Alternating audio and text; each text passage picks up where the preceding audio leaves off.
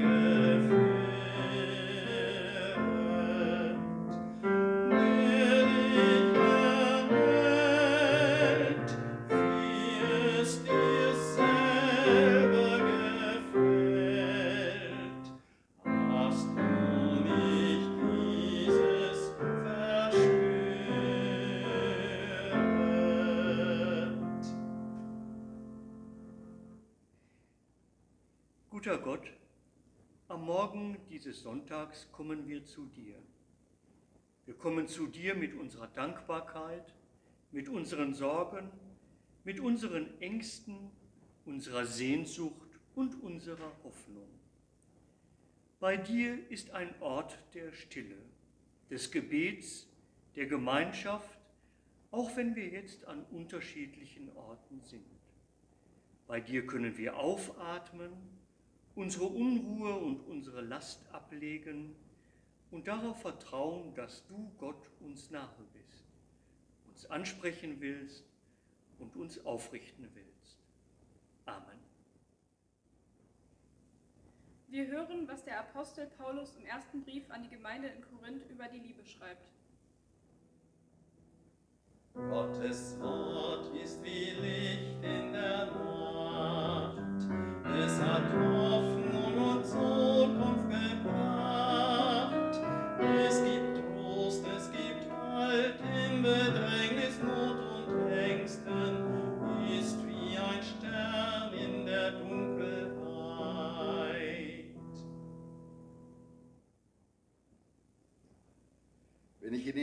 Sprachen der Menschen und Engel redete, hätte aber die Liebe nicht, wäre ich ein dröhnendes Erz oder eine lärmende Pauke. Und wenn ich prophetisch reden könnte und alle Geheimnisse wüsste und alle Erkenntnis hätte, hätte aber die Liebe nicht, wäre ich nichts. Die Liebe ist langmütig. Die Liebe ist gütig, Die Liebe ereifert sich nicht. Sie prahlt nicht, sie bläht sich nicht auf, Die Liebe handelt nicht ungehörig. sie sucht nicht ihren Vorteil, Sie lässt sich nicht vom Zorn hinreißen. sie trägt das Böse nicht nach, Die Liebe freut sich nicht über das Unrecht, sondern freut sich an der Wahrheit. Sie erträgt alles. sie glaubt alles, Sie hofft alles. sie hält allem stand. Die Die Liebe hört niemals auf. So bleiben nun Glaube, Hoffnung, Liebe, diese drei. Aber die Liebe ist die größte unter ihnen. Gottes Wort ist wie Licht in der Nacht. Es hat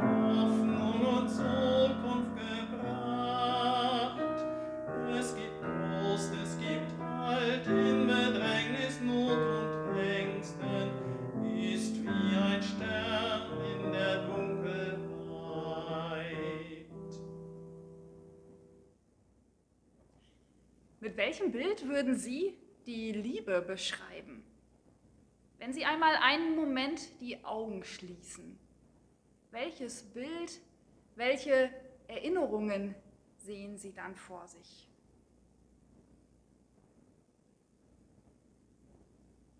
Vielleicht sehen Sie sofort ein solches Bild, das jetzt hier zu erkennen ist. Erinnerungen an den eigenen Hochzeitstag, Hände, die viele Jahre, viele Momente miteinander geteilt haben, die sich gegenseitig Halt geben und Zärtlichkeit. Die Eheringe, sichtbar als Zeichen der Verbundenheit. Ja, wir gehören zusammen, du gehörst zu mir. Die Sektgläser in den Händen, gehalten, um auf die Liebe und auf das Leben anzustoßen und sich miteinander zu freuen. Vielleicht erscheint auch ein ganz anderes Bild vor ihrem inneren Auge. Da sind die Tränen, die um eine Liebe geweint wurden, um eine unerwiderte Liebe vielleicht oder um eine Liebe, die mit der Zeit zerbrochen ist.